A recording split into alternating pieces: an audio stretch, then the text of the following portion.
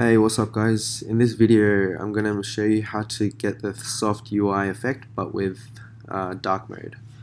So, um, last video, I showed you something similar to this, where it's kind of, you know, all white. Um, but yeah, I'll show you how to get the same effect, but with uh, dark colors. Also, someone on Reddit mentioned what this type of UI is called um, neumorphism yeah, that's the official like name for it. Uh, if you're interested in that. But yeah, so in the last video, we made up to this with some really simple code. It was just a container with my little Android figure in it, and we just added a uh, border.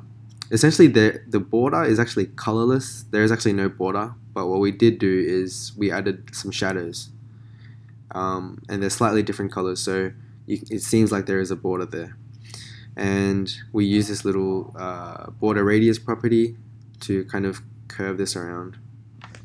Okay, so let's try to change this to dark mode. Okay, so first of all, let's change this background color. Now, you don't want to go completely black because you, um, kind of like in this example, we didn't go completely white on the background and the foreground because this needs to be white you need to make the one of the shadows lighter um, or darker. So it can't go all the way. So for the gray I'm just gonna pick maybe uh, oh yeah by the way if you want to see like all the different strengths you can just type gray and just have a look at the different strengths we want. So I think we're gonna go with let's go with 850 let's see how that looks.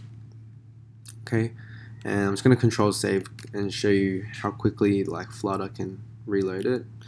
Alright, so we changed the background, that, that looks kind of off, so let's go here and change this one as well, whoops, to 850. Yeah, so background and the foreground, they have to match the color. Okay, now my Android, let's change this guy. Um, to white. Okay. Now everything's looking good. Now he's got to adjust these shadows. So let's change this gray. Now this is the darker one, right? So this one's the one at the bottom. So we want this darker than this 850. So let's go to 900 for that guy. Um, not looking too good. I think that's because there's a white here that's kind of overlapping with it white, we don't want it so white, we just want it slightly lighter than this 850. So let's say, let's say 800. Oh shit. Gray, 800. And yeah, there we go. Let's see what 700 looks like. No, 800 is the way to go.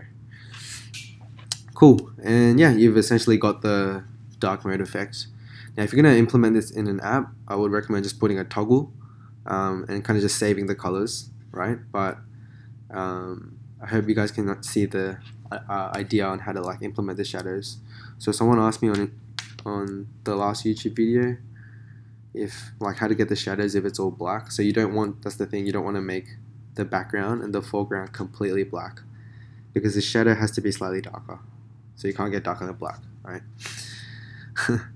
okay, and also this radius property, this radius circular, if you just turn it up enough, then you can get like a circle, um, just a complete circle.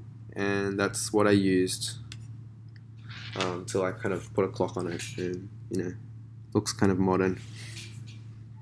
But yeah, another nice quick video. Thanks.